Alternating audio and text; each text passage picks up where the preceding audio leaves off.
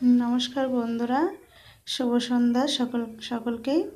আমি শুরু করছি আজকে তোমাদেরকে দেখাবো চটপটে ঝালমুড়ি বানিয়ে, শুধুমাত্র ছোলা দিয়ে। তো আশা করছি তোমরা সকলেই ভালো আছো। দেখো, আমি এখানে ছোলা নিয়েছি।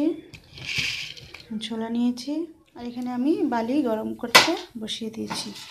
বালি গরম গরম হয়ে গেলে, বালি গরম হয়ে গেলে এখানে আমি অল্প অল্প করে ছোলা দেবো। ছোলাটা ভেজে নেব। খুব সহজেই ছোলা ভাজা যায়। এভাবে বালিটা দিয়ে নেড়ে চেড়ে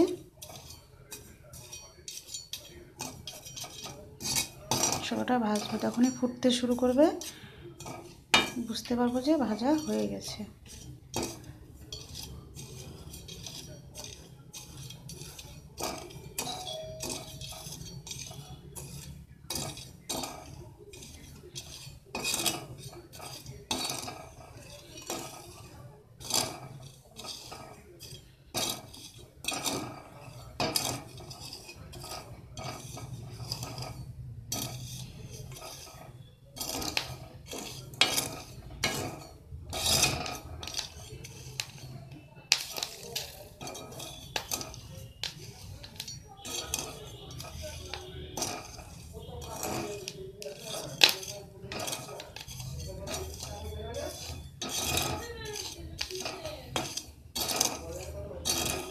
দেখো কি সুন্দর ফুটে উঠেছে।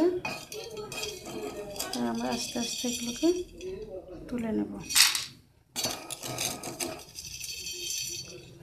এইভাবে সবগুলো ছোলা ভেজে নেব।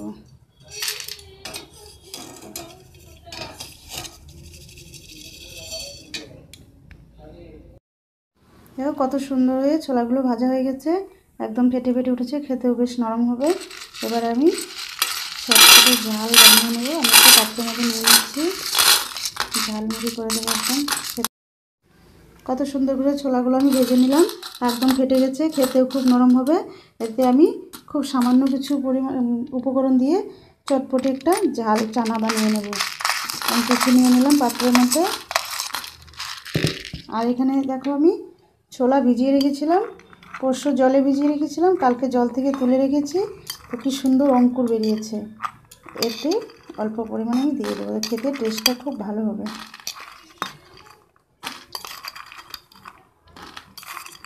খুব সহজেই তোমার বাড়িতে করে সন্ধ্যায় টিফিন খেয়ে নেবে। খেতে খুব ভালো লাগবে। এবং এতে দিয়ে দিলাম কাঁচা লঙ্কা এবং পেঁয়াজ কুচনো। এটা দিয়ে দিলাম।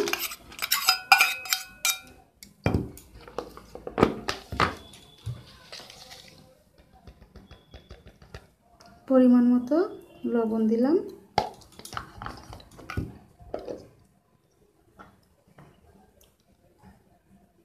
অল্প পরিমাণ আমি একটু লঙ্কার গুঁড়ো দিয়ে দিলাম। আর এতে একটু জিরার গুঁড়ো দিয়ে দিয়েছি।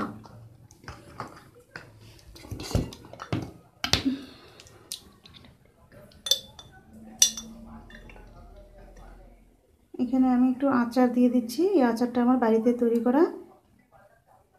যাতে টেস্টটা ভালো আসবে।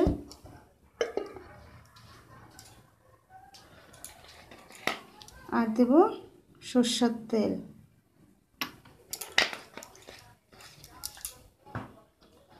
এবার একসঙ্গে মিশিয়ে নেব।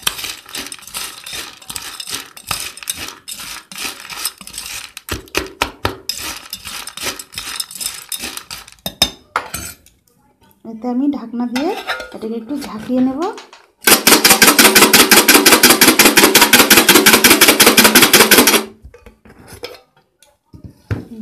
কত সুন্দর একটা ফ্লেভার চলে এসে কি সেন্ট বেরিয়েছে। তোমরা সবাই সন্ধ্যায় করে দেখবে এটি খাবে। এবার আমি